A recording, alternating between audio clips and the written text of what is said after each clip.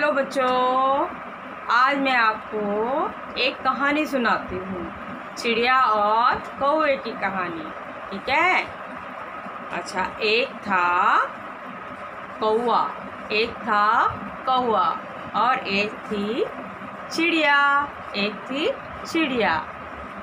कौवे का घर, कौवे का घर था गोबर का, कौवे का घर था गोबर का और चिड़िया का घर था मोम का। चिड़िया का घर था मोम का। अब एक दिन बहुत बारिश हुई। क्या हुआ? बहुत बारिश हुई। तो बारिश में कौवे का घर, कौवे का घर टूट गया। ठीक है? अब कौवे ने सोचा कि मैं चिड़िया दीदी के घर जाकर उनसे मदद माँगता हूँ। अब कौवा चिड़िया दीदी के घर गया। बोला, चिड़िया दीदी चिड़िया दीदी, क्या मैं तुम्हारे घर आ जाऊँ? चिड़िया दीदी चिड़िया दीदी, क्या मैं तुम्हारे घर आ जाऊँ? चिड़िया बोली, नहीं नहीं कौवे राजा, अभी मैं अपने बच्चे को नहला रही हूँ।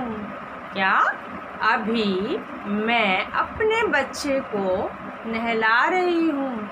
तुम कुछ देर बाद आना। कौआ वापस चला गया।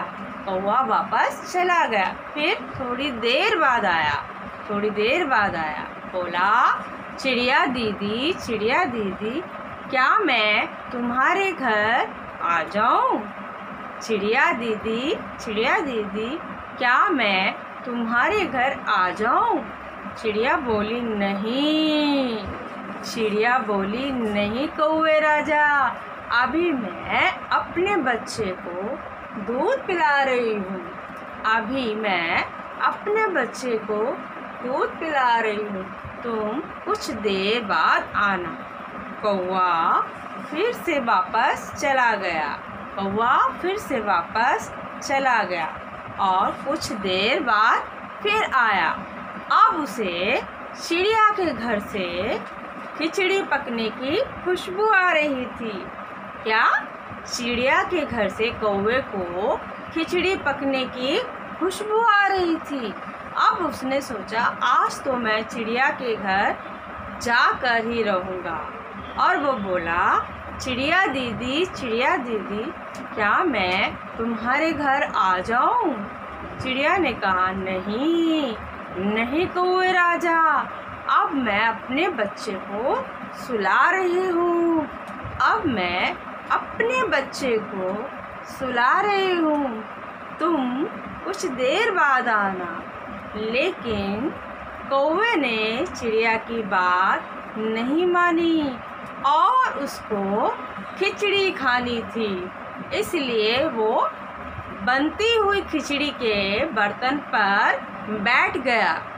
कौआ बनती हुई खिचड़ी के बर्तन पर बैठ गया और पीछे से आग ने कौए की पूंछ पकड़ ली और कौआ जलने लगा और वो वहाँ से भागा। ठीक है बच्चों? कौवे ने लालच किया खिचड़ी का और आफत उसके गले पड़ गई और वो वहाँ से भागा। इसलिए हमें लालच नहीं करना चाहिए। ठीक है बच्चों?